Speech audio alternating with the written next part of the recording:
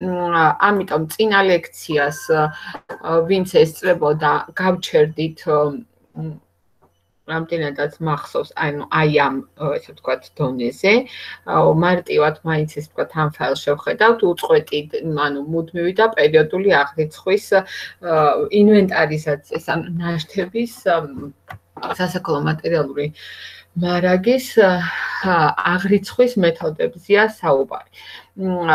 მარაგი, ესე ვთქვათ, საბოლოო ნაშთი უდრის საწყისი ნაშთი პლუს მარაგი შეძენა მინუს მარაგის გასვლა. ნუ ეს არითმეტიკულად რო დავთვალოთ. მუდმივი, ანუ უწყვეტი აღრიცხვის მეთოდი გულისხმობს შემდეგ შინაარს, რომ მარაგების მოძრაობა მოძრაობის აღრიცხვა ხდება ქრონოლოგიურად, ანუ არ წყდება.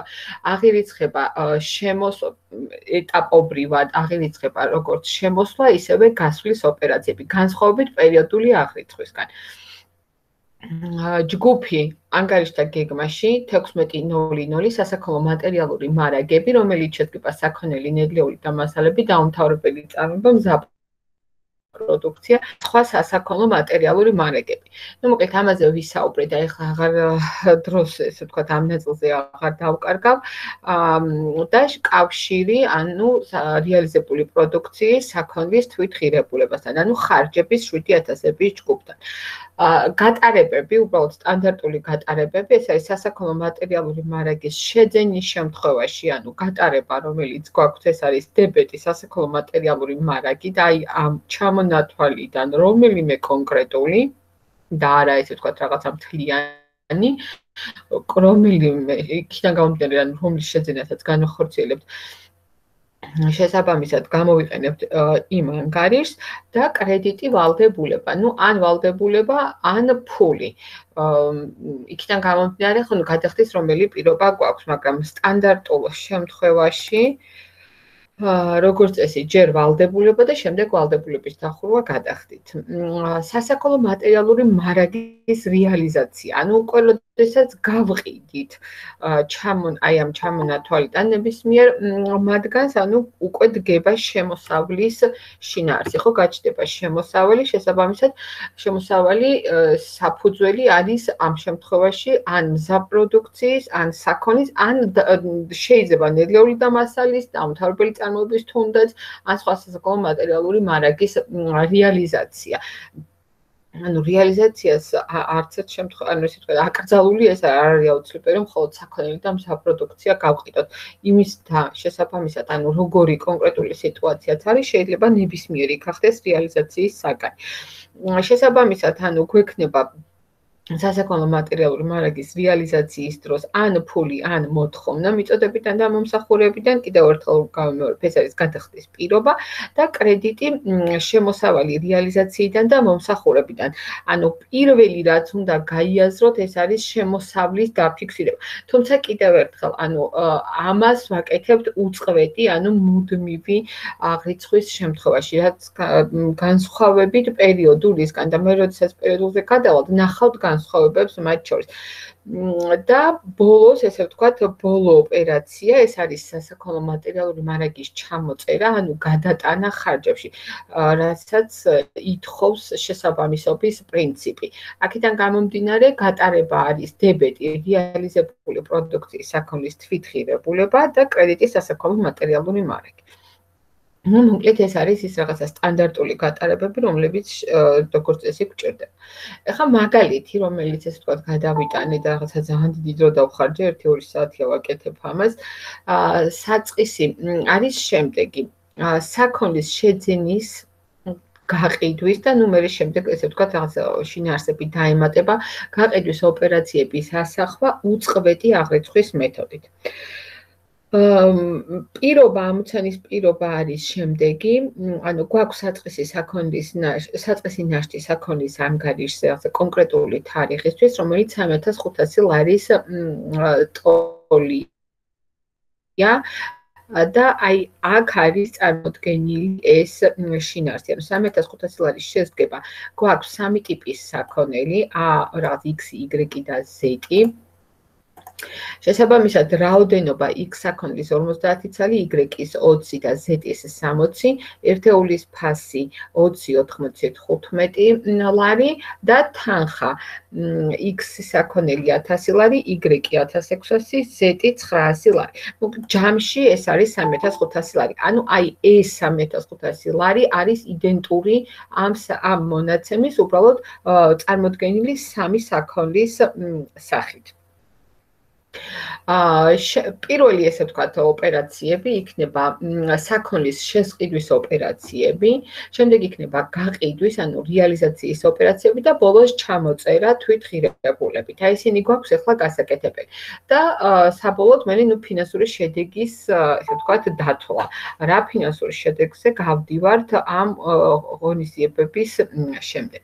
აა საქონლის შესყიდვის ორადი გატარებები. პირობა და შემდეგ გატარებებიც არის რა თქმა უნდა დაწერილი. 20 იანვარს შემდგომი გადახდის პირობით შეძენილია X დასახელების საქონელი 15 ცალი ერთეულის ფასი 20 ლარი. ანუ საუბარია აი ამ ნაწილზე შევიძინეთ საქონლის შესყიდვა განხორციელდა X ტიპის საქონლის რაოდენობა 15 ცალი ერთეულის ფასი 20 ლარი. აქ არის ესე ვთქვათ გამარტივებულია შემდეგი შინაარსი.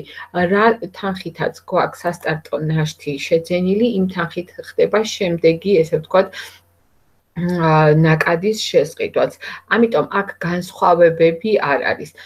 განსხვავების შემთხვევაში უნდა დააზუსტოთ, ანუ მეთოდები, რომელსაც წინა ლექციაზე ავხსენი და აი მეთოდებში იგულისხმება ძირითადად ნუ LIFO როგორც წესი უკვე თითქმის ამოღებულია FIFO და საშუალო შეწამული ღირებულების მეთოდი. ამ ორი მეთოდიდან რომელი გჭირდებათ, რომ ესე ვთქვათ, მეરે დაიწყოთ ჩამოწერის შინაარსები. შეიძლება იყოს ესეთი ამოცანაც, ანუ კითხვა ყოველ შემთხვევაში და მიაქციოთ უნდა ყურადღება. ეხლა უბრალოდ შედარება ეს თქვათ მარტივარია გვაძლევენ და ერთი და იგივეა საწყისი სასტარტო ნაშთების ღირებულება და შემდეგ შესყიდვის ღირებულებაც. პრაქტიკაში დაშვებულია და უფრო ხშირად არის სხვადასხვა. ამიტომ გვჭირდება ანუ აი ამ მეთოდების გამოყენება. გატარება, შესყიდვის გატარება, სტანდარტული დებეტის საქონელი, ანუ აქტივი შევიძინეთ, აქტივის ანგარიში ზრდა იწერება დებეტის მხარეს 300 ლარი, კრედიტი ვალდებულება, იმიტომ რომ პირობა გვაქვს გადახდის შემდგომი პერიოდი. ა 15 შემდეგი გატარება 15 მაის ნაღდი ანგარის წორებით Y შეძენილია Y საქონელი Y საქონელი 10 ცალი ერთეულის ფასი 80 ლარი. ანუ აი ამ ნაწილზეა საუბარი Y საქონელი 10 მაწყდება თქვენი 80 ლარი ანალოგიური დებელი კრედიტ ფუში. გავებით ანუ ბატონო მაწყდება. ხმაწყდება?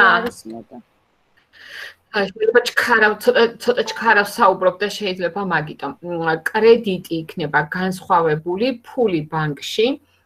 იმიტომ რომ გვაქვს ნახდი ანგარიშის სწორება თანხა 800 ლარი. ანუ თანხები აქედან ისედაც არის წამოღებული ანუ ფორმულაზე რო დადგებით ნახავთ 10 გამრავლებული 80-ზე 800 ლარი. კიდევ წდება ჩემი ხმა. ეხლა აღარ. აჰა მესამე 10 სექტემბერს შემდგომი გადახდის პირობით შეძენილია Z დასახელების საქონელი 18 ცალი ერთეულის ფასით 15 ლარი. ნუ აქ არის ჩვეულებრივად განგარიშების ცხრილი და ეს მეტი არაფერი არ არის. 18 ცალი 15 ლარად 270 ლარი. ა გატარება დებეტის საქონელი კრედიტი ვალდებულება, რადგან არის შემდგომი გადახდის პირობა 270 ლარი. გავიგეთ აქამდე? კი. დიახ, არ არის. კი, გასაგები. კი, კი. კარი. ხო, ეხლა უნდა გადავ და ასე შემდეგ, ხო? ნუ შეიძლება 3 და რატო პირობითად 3000 და შეიძლება 30000 დასახელების საქონელის შესყიდვასაც აწარმოებდეს კომპანია, ხო? მაგალითად, ნუ სავაჭრო სფეროები განსაკუთრებით და წარმოების სფეროც, როდესაც ეს თქვა დიდი წარმოება. ანუ ამას არ აქვს მნიშვნელობა, ნუ სტანდარტულად როდესაც შესყიდვა არის გადახდის პირობას, ეხლა მე როდესაც უკვე ესე ვთქვათ სტანდარტულ გატარებებს განიხილავენ, ანუ აი ეს ნაწილი დებეტის საქონელი და კრედიტი ვალდებულება არის სტანდარტული პირველადი გატარება. უკვე არ აქვს მნიშვნელობა ესე ვთქვათ გადახდის პირობას, ხო? ამიტომ მე მოხდება ფულის ესე ვთქვათ აღრიცხვა და ვალდებულების შესაბამისად კლება. პირველი გატარება, პირველი ესე ვთქვათ სტანდარტული გატარება არის დებეტის საქონელი კრედიტი ვალდებულება. კარგით, მეორე ნაწილი ეს იქნება გაყიდვის ოპერაციები. ანუ როგორ უნდა მოვიქცეთ, თორემ გავყიდით საქონელს. აა აქაც შესაბამისად, ანუ პირველი რაც რეალიზაციას ავტომატურ რეჟიმში მოყვება, ეს არის კრედიტის ანუ შემოსავლის მიღება. ეს იქნება საქონელი მომსახურება, ამას არ აქვს მნიშვნელობა, რასაც გავყიდით, პირველი შინაარსი რაც გაიგივებული უნდა გქონდეთ გაყიდვასთან ეს არის შემოსავალი. ნუ აღარ არის საუბარი ახლა იმაზე ეს როგორი ტიპის შემოსავალია და ასე შემდეგ. ნუ პირველი შინაარსი აუცილებლად იქნება კრედიტის შემოსავალი. დებეტს იმის მიხედვით განსაზღვრავთ როგორია ამ კონკრეტულ შემთხვევაში ანგარიშწორების ფორმა ეს იქნება ნაღდი თუ შემდგომი გადახდის პირობით. ნუ ნახოთ 12 აპრილს ნაღდი ანგარიშწორებით გაიყიდა საქონელი ატიპი ეს რაღაცა პირველი რომელია X-ი ანუ X დასახელების საქონელი გაიყიდა 20 ცალი თითო 30 ლარად. აა ახლა ნახოთ აქ რა გვაქვს ცხილში. რაოდენობა 20 ცალი გავყიდეთ 30 ლარად, შესაბამისად შემოსავალი გვაქვს 600 ლარი. გატარება დებეტი ფული ბანკში 600 ლარი, კრედიტის შემოსავალი 600 ლარი. ანუ ამითი, ესე ვთქვათ, შევასრულეთ შემოსავლის მიღების გატარება.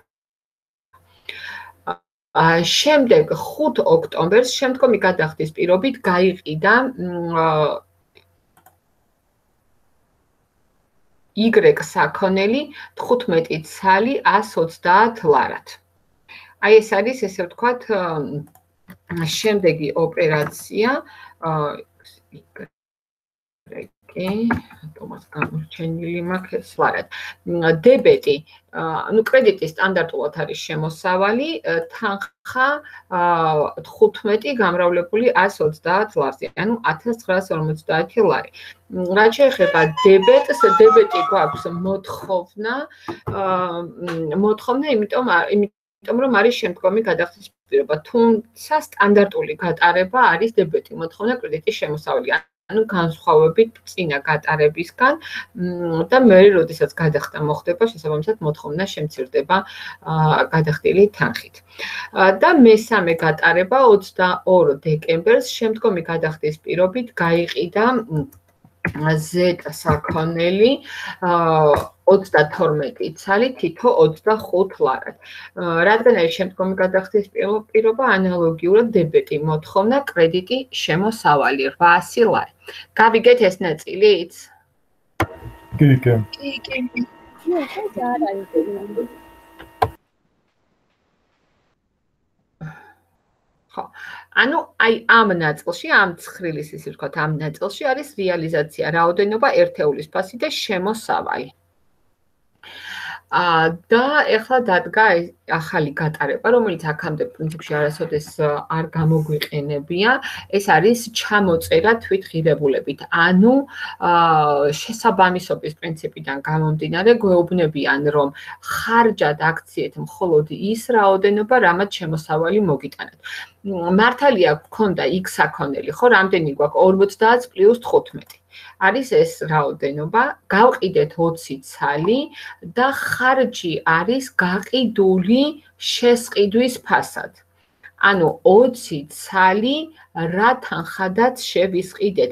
ნუ ამ შემთხვევაში მარტივად გვაქვს საქმე და ერთეულის ფასი ორივე შემთხვევაში, ანუ ნაშთის შემთხვევაშიც და შემდგომი შესყიდვის შემთხვევაშიც არის 20 ლარი და აქ პირობითად ვამბო, პირობითად, ანუ 20 ლარს 20 ლარი არის თვით ღირებულება.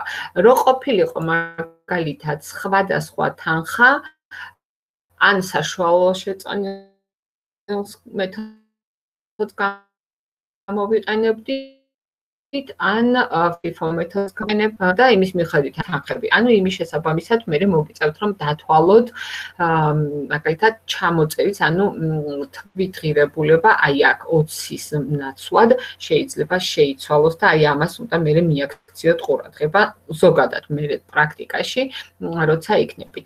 ანუ ჩამოწერა ხდება იმ რაოდენობის, რამაც შემოსავალი მოგვიტანა საქონლის შესყიდვის ფასით. ანუ 20 ცალი გავყიდეთ, მაგრამ შესყიდვის ფასი იყო 20 ლარი. ანუ შესაბამისად 400 ლარი არის ხარჯი. გასაგებია ეს ნაწილი? კი, კი, გასაგებია. ხო, ანუ თვითღირებულება რა გულისხმობს ამაზეა საუბარი. ხარა შეეხება გატარებას. 12 აპრილს, ანუ ეს გატარება ჩამოწერის, ანუ აი აქ აწერია რეალიზებული საქონლის რეალიზებული საქონლის ჩამოწერის გატარება უნდა განხორციელდეს იმ თარიღში, რა თარიღშიც ეს საქონელი გაიყიდება. ანუ, როდესაც იგი უკვე, ესე ვთქვათ, ამ გამყიდველი კომპანიის საკუთრება აღარ არის. და შესაბამისად, ანუ ეს თარიღები აი აქ დაემთხვევა ერთმანეთს 12 აპრილი, 5 ოქტომბერი და 22 დეკემბერი, იმიტომ რომ ამ თარიღებში გავყიდეთ. შეიძლება და აქვე გაგუკეთებინა ეს ჩამოწერის ოპერაცია, მაგრამ რატომღაც ჩავ თვალე რომ ჯერ ესე ვთქვათ რაღაცა ნაწილ-ნაწილ ჯგუფებად დამეწერა და მერე დავუშვათ გაგვერთიანებინათ, ოდესაც ანუ პრაქტიკაში პარალელურად ხდება, როგორც კი გაყიდით, მაშინვე ესე ვთქვათ ჩამოწერის ოპერაციაც იქვე უნდა გააკეთოთ. რეალურად აქაც ესევია, უბრალოდ ესე ვთქვათ ქვემოთ წერია ჯგუფში და მეტი განსხვავება არ არის არაფერი. დებეტი ანუ რეალიზებული საქონლის თვითღირებულება ნიშნავს ხარჯის შეიძლება ინარს. ანუ 7000-ების ჯგუფს და ხარჯი გვაქვს, ანუ რაც გავყიდეთ შესყიდვის ფასად 400 ლარი. 200-იც 20 ცალი გავყიდეთ 20 ლარად შესყიდვის ფასი იყო. და კრედიტი შემცირდა ამით საქონელი, ანუ ის 20 ცალი ჩვენი აღარ არის. ამიტომ შესაბამისად კრედიტის საქონლის საქონელი უნდა ამ ჩანაწერით საქონლის რაოდენობა რაოდენობასთან ერთად რა თქმა უნდა მისი თანხაც დაიკლებს. სამივე გატარება ამ შემთხვევაში არის სტანდარტული, უბრალოდ თანხები არის შეცვლილი. ხა ზევით შევხედოთ თანხებს. Y საქონელი გავყიდეთ 15 ცალი, რომლის შესყიდვის ღირებულებაც იყო 80 ლარი და Z საქონელი გავყიდეთ 32 ცალი, რომლის შესყიდვის ღირებულებაც არის 15 ლარი. ანუ შესაბამისად Y ჩამოსაწერ ხარჯი არის 1200 ლარი და Z არის 480 ლარი. ანუ ეს გატარებები არის გაკეთებული აი აქ შესაბამისი თარიღებით. გასაგებია. გავაგრძელო. კი. კარგი. ბოლოს ხო საბოლოო ხა ამ ყველა ქმედების მიზანი ყოველთვის არის რა შემოსავლის ხო რამდენი დაგვრჩა ამ ეხა ამ პრიმიტიულ მაგალითზე ფინანსური შედეგი. შესაბამისად ანუ შემოსავლის ტიანგარიშზე რეალიზაციიდან მიღებული თანხები აისახება ამ შემთხვევაში 600 ლარი 1950 და 800 ანუ ჯამში 3350 ლარი არის რეალიზაციიდან მიღებული შემოსავალი. ხარჯი აი ამ შემოსავალთან დაკავშირებული არის ну საქონლე სახეობების მიხედვით 2080 ლარი. ну მარტივი არითმეტიკით, ამ ეტაპზე მარტივი არითმეტიკით გაყიდოს ანუ შემოსავალს გამოკლებული ხარჯი არის ჩვენი ფინანსური შედეგი, რადგან შემოსავალი მეტია ხარჯზე, ესე იგი ნუ გვაქვს მოგება. ეხლა ეს ყველაფერი აქ როგორ არის გატარებებში გაკეთებული. ანუ დღეს დილით ვინც ეს წებოდით ლექციას და ვინც იყავით გახსოვთ იქ რაღაცა ოპერაციების აი ამ მოგება ზარალის ტიანქარიშზე და ეს ვთქვათ აი ეს ზედა ნაწილი თითქმის არ იყო გამოყენებული რაღაც ერთ მაგაიჩი მეორეში უფრო მეტად იყო და უშად დაზუსტებული ეს შინაარსები. ამიტომ ეხლა რაც უნდა გავაკეთოთ არის უკვე პერიოდის ბოლოს პირველი საქონლის რეალიზაციიდან მიღებული შესავლის გადატანა მიმდინარე პერიოდის მოგება არის ანგარიში. ანუ ეს ნიშნავს ხმაწყდება რომ რადგან გვაქვს ხომ ანგარიში არის მის თქვენი ხმა. რომ მოსაც ქვია მიმდინარე პერიოდის მოგებას როგორც კი ლაპარაკობ ესე იგი წდება. აა ხო ეხლა არის მის ჩემი ხმა? ახლა ისმის. ანუ რაც ილაპარაკეთ, არაფერი არის მოდი. რაც ილაპარაკეთ, არაფერი არის მოდა.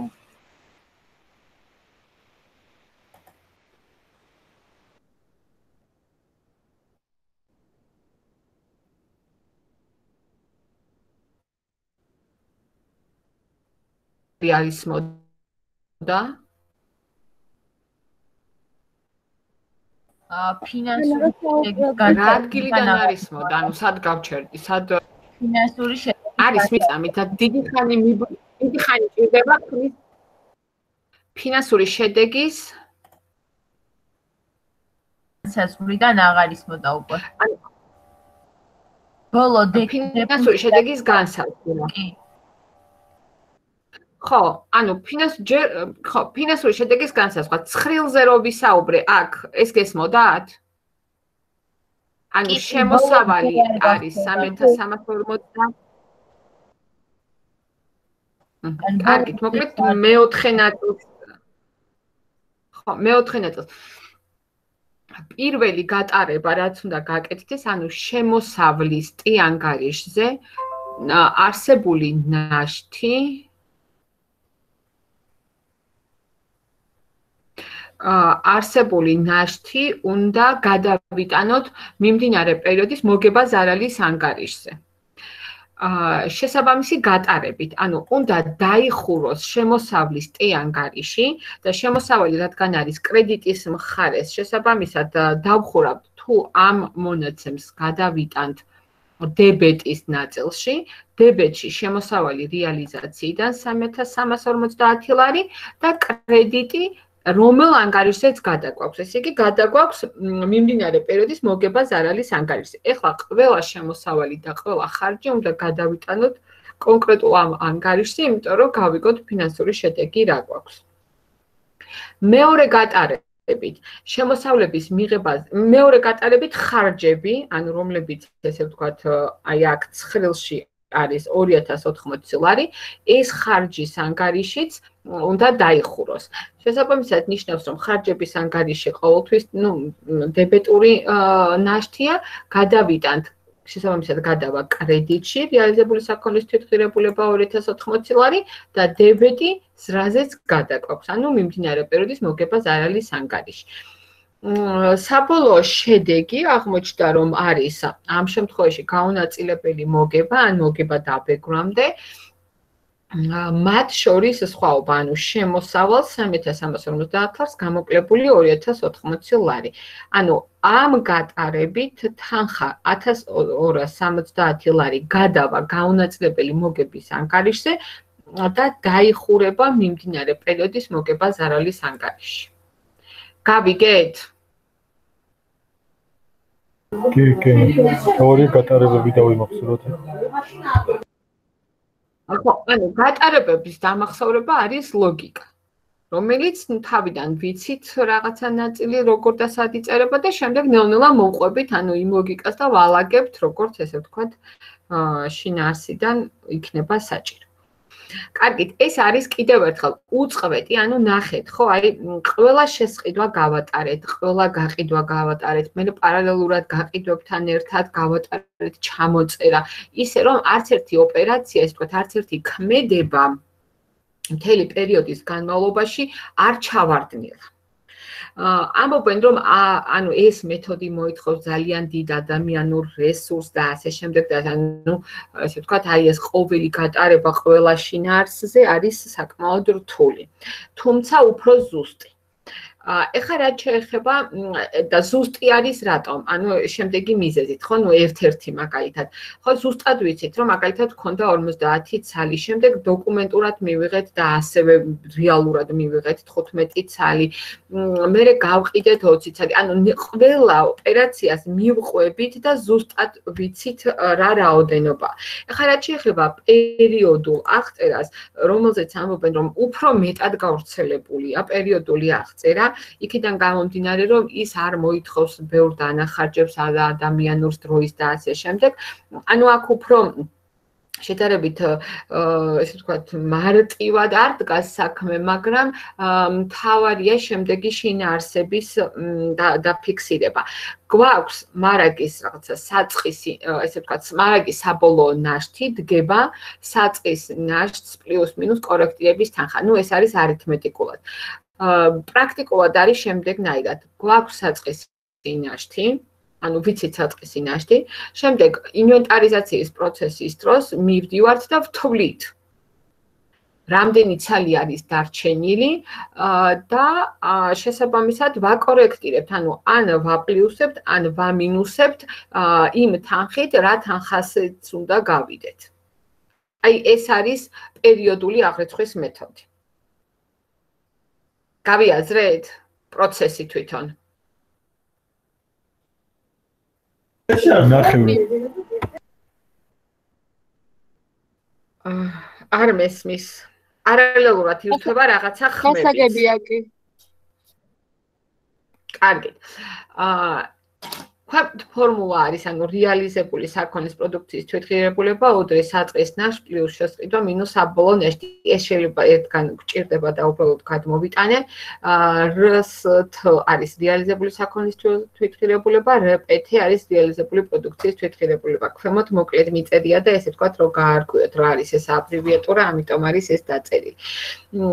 შესაბამისად გამოვიყენებთ იგივე მონაცემებს, ანუ იგივე ამოცანას გავაგრძელებთ, ოღონდ გავაგრძელებთ ამ შემთხვევაში პერიოდული აღრიცხვის მეთოდის მეთოდით. და განსხვავება არის შემდეგი. თუ მაგალითად უწყვეტის დროს აა ესე ვთქვა, ჯერ შესყიდვებს წედით, მე გაყიდვას და ბოლოს ვიწყებდით ჩამოწერით. ეხლა გვეუბნებიან, რომ პირდაპირ, რასაც შეიძენთ, გადაიტანეთ ხარჯებში. თუმცა ეს არ ნიშნავს იმას, რომ ამით ვარღვევთ თუნდაც იმ შესაბამისობის პრინციპს. იმ მარტივი მიზეზით, რომ ბოლოს ვაკორექტ აქტირებთ. ანუ უფრო ესე ვთქვა ტექნიკური ხასიათის ტექნიკურად ვაკეთებთ სხვა გატარებას და შინაარსობრივად ანუ საბოლოო ჯამში იგივე შედეგზე გავდივართ. ამიტომ ამ შემთხვევაში ნახეთ, როდესაც შევიძენთ საქონელს, აა, როდესაც შევიძენთ საქონელს, ანუ X დასახელების საქონელი 15 ცალი ერთეულის ფასი 20 ლარი, პერიოდული აღრიცხვის შემთხვევაში შეგვიძლია პირდაპირ იმავე რიცხვში ვთქვათ, რომ ეს არის უკვე ხარჯი. შესაბამისად, ანუ დებეტი გვექნება რეალიზებული საქონლის თვითღირებულება. ანუ ეს არის გამოყენებული ტერმინი, რომელიც ესე ვთქვათ ამ ანგარიშს ქვია და თანხა არის 300 ლარი, ანუ 15 გამრავლებული 20-ზე. კრედიტი ვალდებულება, იმიტომ იმიტომ რომ არის შემდგომი გადახდის პირობა. მეორე 15 მაისს ნაღდი ანგარიშწორებით შეძენილია Y საქონელი 10 ცალი ერთეულის ფასი 80 ლარი. გატარება იქნება ანალოგიური კრედიტი იქნება ფული ბანკში, დებეტი რეალიზებული საქონლის თვითღირებულება, ანუ შესაბამისად 800 ლარი. და ბოლო გატარება საქონელი 18 ცალი ერთეულის ფასი 15 ლარი. დებეტი კვლავ თვით ანუ ხარჯი 270 ლარი კრედიტი ვალდებულება. იმიტომ რომ არის შემდგომი გადახდის პირობა. მოკლედ, განსხვავება უკვე უნდა დავინახოთ წესით უწყვეტი მეთოდის განსხვავება პერიოდული აღრიცხვის მეთოდთან. ანუ პერიოდული შემთხვევაში შესყიდვა, ანუ როგორც კი განხორციელ განხორციელდება, ვამბობთ, რომ იგი გავატაროთ ხარჯების კატეგორიაში, განსხვავებით უწყვეტი მეთოდისგან. რაც შეეხება საქონლის გაყიდვის ნაწილს, ეს არის უცვლელი. ანუ ჩვეულებრივად 12 აპრილს გავყიდეთ 20 ცალი 30 ლარად დებეტი, ანუ ფული ბანკში, კრედიტის შემოსავალი 600 ლარი. 5 ოქტომბერს შემდგომი გადახდის პირობით გაიყიდა საქონელი 15 ცალი 130 ლარად, დებეტი მოთხოვნა, კრედიტის შემოსავალი 195 ლარი და 22 დეკემბერს შემდგომი გადახდის პირობით გაიყიდა 32 ცალის თითო 25 ლარად. დებეტი მოთხოვნა კრედიტის შემოსავალი, ანუ 800 ლარი. თანხები არის იდენტური, ანუ იგივე მონაცემი, თუმცა აქ ფორმულაში წერია. მოკლედ ეს არის გატარება გაყიდვის დროს. ახლა რა ხდება? ანუ შემდეგი ეტაპი არის განსხვავებული. 31 დეკემბერს ჩატარდა ინვესტიცია ინვენტარიზაცია. ანუ რადგან გაქვს პერიოდული აღრიცხვის მეთოდი, ასეთ შემთხვევაში 31 დეკემბერს აუცილებელია ინვენტარიზაციის ჩატარება. ინვენტარიზაციის ჩატარების აუცილებელი პირობა არის შემდეგი, რომ ის აუცილებლად უნდა ჩატარდეს წელიწადში ერთხელ 31 დეკემბრის მდგომარეობით. ეს გულისხმობს შემდეგს, ხა შეიძლება ტექნიკურად დაიწყოს მაგალითად რაღაცა უფრო ადრე ფიზიკურად ხა 31 დეკემბერს ხომ მართლა ვერ ჩაატარებთ ინვენტარიზაციას, გააჩნია კიდევ ერთი თქვა როგორი მიმართულებით და რომელი სფეროს კომპანია, ამიტომ საუბარია რომ ჩატარდეს, შეიძლება მერეც ჩატარდეს, არა 31 დეკემბერს, არამედ მაგალითად 5 იანვარს პირობითად მომავალი წლის, მაგრამ საუბარია რომ მონაცემი უნდა იყოს 31 დეკემბრის. აი ეს არის მთავარი, ესე ვთქვათ, ამ შინაარსში. და გვითხრეს რომ საქონლის საბოლოო ნაშთი არის 2790 ლარი. აი ეს მონაცემი მოგცეს, ვიცით საქონლის საწყისი ნაშთი რომ არის 3500 ანუ ეს პირობა ამ ამოცანის აი აქედან იგივეა, ერთი და იგივეა ეს ამოცანის პირობა. და ესე იგი რა უნდა გავაკეთოთ? ვნახეთ, რომ შედეგით შემცირდა საქონლის საქონლის რაოდენობა. აქედან გამომდინარე, ხანუ რა ცალობით არ გვაძლევენ ინფორმაციას, თანხას გვაძლევენ. ნუ არანაირი ესე ვთქვათ, პრობლემას ეს არ ქმნის. შესაბამისად 3500 უნდა გამოვაკლოთ 2790 და 710 ლარით უნდა გავაკორექტიროთ აღნიშნული შინაარსი. იმიტომ რომ 3500 ლარის საწყისი ნაშთი დარჩა 2790 ლარი და მაკორექტირებელი ციფრი ამ შემთხვევაში არის მინუს, რადგან შემცირდა მინუს 710 ლარი. გავიგეთ ეს ნაწილი? კი. ხო, გატარება. ანუ ასეთ შემთხვევაში გატარებაში მთავარი რაც უნდა გაიაზროთ ის არის რომ საქონელი შეგიმცირდათ და ესე იგი კრედიტში უნდა იყოს საქონელი. რაც შეეხება დებეტი, დებეტი არის სასაქონლო მატერიალური მარაგის კორექტირების ანგარიში. და თანხა, ანუ ის თანხა, რაც გაგიკორექტირებთ ამ შინარს. ანუ იგულისხმება, რომ აი აქ სხვაობა საწყის და საბოლოო ნაშთს შორის გჭირდებათ, რომელიც ესე ვთქვათ, აი ამ გატარებით არა 2790, არამედ მათ შორის სხვაობა არის გატარება, ანუ ბრუნვა. და შეიძლება ანუ ეს არ არის ესე ვთქვათ აუცილებლად რომ ყოველთვის შემცირდება ეს არ გვაქვს ესე ვთქვათ მხოლოდ ეს პირობა. შეიძლება პირიქით გაიზარდოს. ну ეხა ამ ამ შემთხვევაში რადგან შეგვიმცირდა ამიტომ ეს ვთქვათ მეორე გატარება ზრდის შემთხვევაში იქნება საქონლის მატება, შესაბამისად დებეტში დაწერთ საქონელს და კრედიტში იქნება სასაქონლო მატერიალური მარაგის კორექტირება. ნუ ციფრი არ მაქვს, იმიტომ რომ ამოცანის პირობა არ მაძლევს ამის საშუალებას. ანუ ეს გატარებები იქნება, ესე ვთქვათ, იმის და მიხედვით გასაკეთებელი, აა კლება გაქვთ საბოლოო ნაშთის თუ ზრდა გაქვთ საბოლოო ნაშთის საწყის ნაშთთან მიმართებაში. აი ეს პირველი, ანუ აი ეს ნაწილი გულისხმობს, ანუ აი ამ შინაარს საბოლოო მარაგი როგორ კორექტირდება საწყის ნაშთთან მიმართებაში. აი ეს არის თავარი, ესე ვთქვათ, აი ამ პერიოდული აღრიცხვის მეთოდში.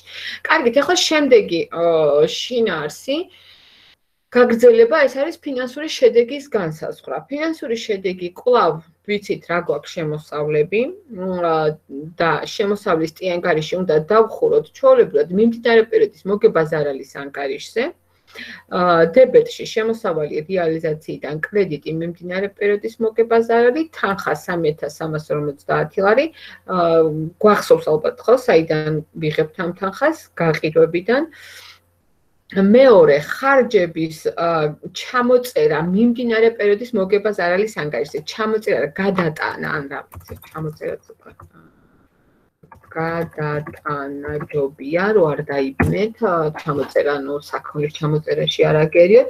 ხარჯების გადატანა მიმდინარე პერიოდის მოგებაზარალის ანგარიშზე და ამ შემთხვევაში აღმოჩნდა, რომ ჩვენი ხარჯი აი აქ გატარებით, მე ნახავთ აი აქ როცა დადგებით, რომელ რომელ ესე ვთქვათ, უჯრებს კრიბავს, გაჩვენებთ, რომელ უჯრებს კრიბავს, აი აქ ხარჯების აი ამ სამ მონაცემს, ანუ ეს პირველი გატარებით, რაც გავაკეთეთ ის მონაცემებია და ბოლოს ესე ვთქვათ მხოლოდ ეს არ არის საკმარისი, იმიტომ რომ გვაქვს აი ეს კორექტირების შინაარსი. თუ ამ კორექტირებას დავკარგავთ, ну ასეთ შემთხვევაში მივიღებთ არასწორ ფინანსურ შედეგს. და შესაბამისად სასაქონლო მატერიალური მარაგის კორექტირებაც უნდა დაიხუროს მიმდინარე პერიოდის მოგებას არ არის ანგარიშზე.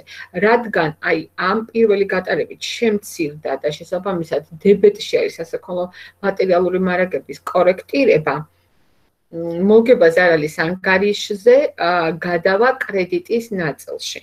აი სასაქონლო მატერიალური მარაგის კორექტირება და დებეტში იქნება მიმდინარე პერიოდის მოგება ზარალის 710 ლარი. ну ამითი დასრულდება ჩვენი მონაცემების გადატანა მოგებაზარალის ანგარიშზე და ფინანსური შედეგი იქნება გამოდის, ანუ 1270 ლარი. ანუ ფორმულა არის შემდეგი. ანუ თუ ამას ტიანგარიშზე გააკეთებთ, უფრო მარტივი იქნება, უბრალოდ მე ძალიან დიდი დრო დამეხარჯებოდა ამისთვის. თქვენ შეგიძლიათ ეს თქვათ იმეცადინოთ ეს ტიანგარიშზეც.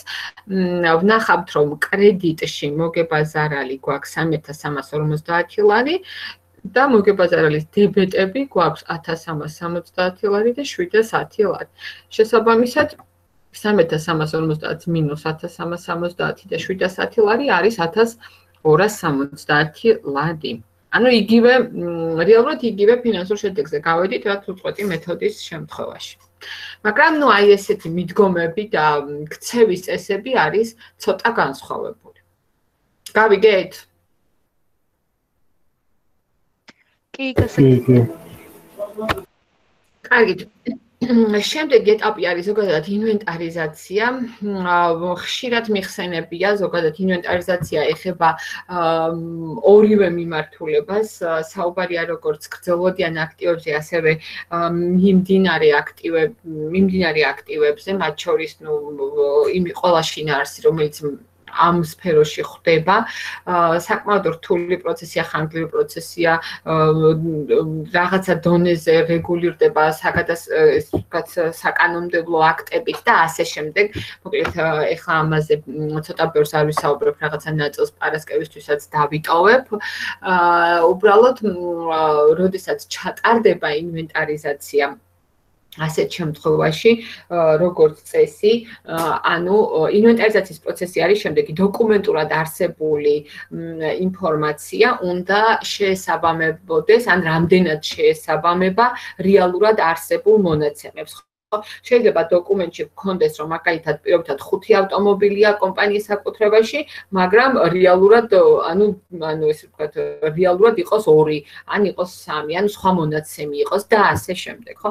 ისევე როგორც მაგალითად სასაქონლო მატერიალური მარაგის შემთხვევაში შეიძლება დოკუმენტურად იყოს საწყობში 5 კომპიუტერი ახალი გაუხსნელი, მაგრამ ანუ დოკუმენტების მიხედვით, მაგრამ ესე ვთქვათ, შედეგი იყოს 3. ასევე შეიძლება იყოს მეტობაც, ზედმეტად მეტიც იყოს.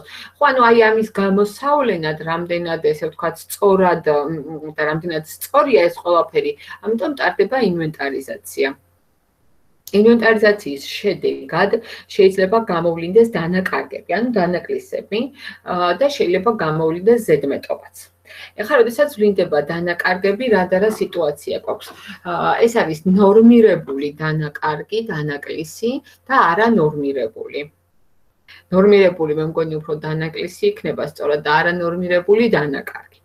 ან ნორმირებული დანაკარგი რა შემთხვევაში შეიძლება არსებობდეს, ანუ სიტუაცია, როდესაც მაგალითად არსებობს ისეთი სასაქონლო მატერიალური მარაგები, რომლებიც ბუნებაში იკარგება ეს თქვა ბუნებრივად, მაგალითად ორთქლდება. ანუ ეს თითქოს ქიმიურ ნივთიერებებს ეხება და სხვა ისეთ შინაარსებს, რომლებსაც ბუნებრივად აქვთ ნორმირებული დანაკარგები. და რაც არ უნდა ესე ვთქვათ, არავინ არ ჩაერიოს, მას მაინც აქვს ეს მიმართულება. მაგალითად, სპირტი თურმე ორთქლდება აუცილებლად რაღაცა პროცენტულად და ასე შემდეგ. აი ეს ნორმირებული დანაკარგები არის განსაზღვრული და თუ იმ ნორმას გასცდება, ასეთ შემთხვევაში უკვე გადადის არანორმირებული. მოკლედ, საბოლოო ჯამში იმისი თქმა მინდა, რომ რაღაცები შეიძლება დაგაკლდეთ, ანუ დააკლდეს კომპანიას, მაგრამ ეს იყოს ნორმა. ანუ ამაში საგანგაშო არაფერი არ იყოს. მაგრამ ნუ პირობითად ვამბობ კომპიუტერი ახლა ვერ აორთქლდება ხო? მას არ აქვს ბუნებრივი დანაკარგი. ის აუცილებლად ვიღაცამ უნდა წაიღოს ასეთ შემთხვევაში ესე ვთქვათ არანორმირებული აი ესეთი ტიპის დანაკარგებზე პასუხისმგებელი ყოველთვის არის კომპანიაში ვიღაცა პიროვნება. ანუ ვიც მაგალითად პირობითად საწყობის ხელმძღვანელი ან ასე შემდეგ, ხო? ან შეიძლება ხა საწყობი არ იყოს, მაგრამ იყოს ეს მატერიალურად პასუხისმგებელი პირი, რომელიც განისაზღვრება დოკუმენტით, ხო, ბრძანებით. ამიტომ გატარებებს რაც შეეხება, ანუ ნორმირებული დანაკარგების შემთხვევაში გვაქვს შემდეგი გატარება. დებეტში სხვა საოპერაციო ხარჯები. მიაქციეთ ყურადღებას, რომ ეს ნორმირებული ეკუთვნის საოპერაციო ხარჯებს და კრედიტის სასაქონლო მატერიალური მარაგი, იმიტომ რომ იკლებს რაც არ უნდა იყოს, ხო? ანუ ესეთი თვისებები ქონიათ ძირითადად ქიმიურ ნივთიერებებს, ანუ მათი მოცულობები იკლებს ბუნებრივად. აი ეს დავიმახსოვროთ. არანორმირებულის შემთხვევაში როგორც წესი, ანუ პასუხისმგებელო პირს ეკისრება ვალდებულება ანაზღაუროს. და ესე ვთქვათ, გატარება გვაქვს შემდეგი, ეს არის დებეტი. მოთხოვნები მატერიალურად პასუხისმგებელი პირის მიმართ, ნუ ან კონკრეტული პირი იქნება მერე დასახელებული და კრედიტი სასაქონლო მატერიალური მარაგი. ან ორივე შემთხვევაში კრედიტში მარაგი არის და დებეტები გვაქვს განსხვავებული. აა დაფარვა, ანუ როდესაც დააბრუნებენ, მოიტანენ ან ასე შემდეგ არის ესეთი სიტუაციები ხდება ხოლმე, გატარება გვექნება თუ ფულით მოხდა ან აზღაურება, ანუ დებეტი ფული იქნება, ან მეორე დებეტი, მაგალითად თუ მატერიალურად მოიტანენ სასაქონლო მატერიალური მარაგი და კრედიტი მოთხოვნები მატერიალურად პასუხისმგებელი პირის მიმართ. ანუ მოთხოვნა დაიხურება ამ კონკრეტული პასუხისმგებელი პირის მიმართ. ასევე შეიძლება იყოს სიტუაცია, როდესაც კონკრეტულად ვერ დადგინდა დამნაშავე. ну ხშირია ესეთი სიტუაციაც, ну ასეთ დროს უკვე სხვა გზა აღარ არის თუ არა ამ სასაქონლო მატერიალური მარაგის აღიარება არასაოპერაციო ხარჯად. და გატარება არის შესაბამისი დებეტის სხვა არასაოპერაციო ხარჯი კრედიტის სასაქონლო მატერიალური მარაგი. და თუ აღმოჩნდა ზედმეტობა ასეთ შემთხვევაში ყველანაირი ზედმეტობა ეს არის ორ კომპანიისთვის შემოსავალი. არ აქვს მნიშვნელობა, ზედმეტობა იქნება პირობითად ფულის სალაროში. თუ ზედმეტობა იქნება სასაქონლო მატერიალური სახით, ყველა სიტუაცია განიხილება, რომ ეს არის კომპანიისთვის დამატებითი შემოსავალი. და გატარება არის შესაბამისი დებეტი, სასაქონლო მატერიალური მარაგი, კრედიტის სხვა არასაოპერაციო შემოსავალი. გავიგეთ ეს ნაწილი? კი. აქ რაღაც ახლა კონკრეტული ციფრები არ არის, არ არის რაღაცა კონკრეტული მაგალითი, უბრალოდ არის სიტუაცია, როდესაც ესე ვთქვათ, ესეთი მდგომარეობები შეიძლება არსებობდეს ორგანიზაციაში და როგორი გატარებები უნდა გამოვიყენოთ. ეს ჩემი სამსახური არ მთავრდება. კარგით. ეს ერთი წამით გავთიშავ. აჰა. და ბოლო საკითხი, რომელიც მინდა გითხრათ, ესე ძალიან მარტივად, ეს არის გადაფასება. გულისხმობს შემდეგს, ისევე როგორც გრძელვადიანი აქტივის შემთხვევაში, სასაკოლო მატერიალური სიტუაცია, სასაკოლო მატერიალურ მარაგსაც აქვს გადაფასების ლოგიკა. ანუ, როდესაც მაგალითად რაღაცის ღირებულება გაუფასურდება, ან რაღაცის ღირებულება მოიმატებს. ანუ ეს შინაარსი ასე ვთქვათ, გადაფასების ლოგიკა, ну, ახასიათებს ამ ნაწილსაც. გატარებებს დაგიწერთ, ეხლა ვეღარ მოვასწარი, რომ ეს ვთქვათ, დამეწერე რაღაც პატარა ამოცანაც არის, ანუ ამ ამოცანასაც და გატარებებსაც აუცილებლად დავწერ პარასკევისთვის და კიდე რაღაცა ესეთი პატარა დეტალები მრჩება, რომელიც უფრო უნდა დაგიზუსტოთ და ასე ვთქვათ და აი აქ ბოლოში გატარებები რომელიც დაგიწერეთ ამას სტანდარტული გატარებები იქნება და ესეც გექნებათ საბოლოოდ რომ გამოიყენოთ მე უფრო პრაქტიკაში. მოკლედ ეს არის სულ დამატებითი ლექციის მოცულობა რაც მინდოდა მომესწრო და ვასწრებ რაც მე ფრიად מחარებს თქვენი არ ვიცი. კითხვები? ამ ფაილს სადაპირ თავი არგუსზე თუ Facebook-ში? ამას არ კი, ამას არგუსზე აგიჭერთავთ ჩვეულებრივ.